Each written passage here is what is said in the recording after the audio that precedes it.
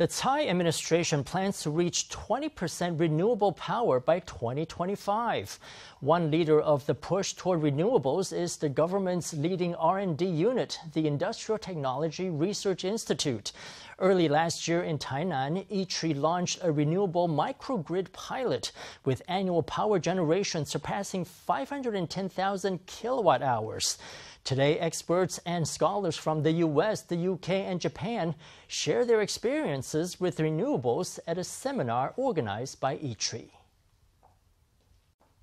In recent years, global attention has been focused on renewable energy. Taiwan has made a hard push to develop its sustainable capacity.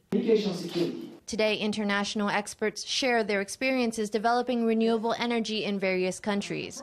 The workshop heard an expert from Texas, where oil is abundant, yet wind power is the biggest source of electricity. Experts said Texas could be a viable model for Taiwan. The Taiwan Strait is a fine factory for wind power generation.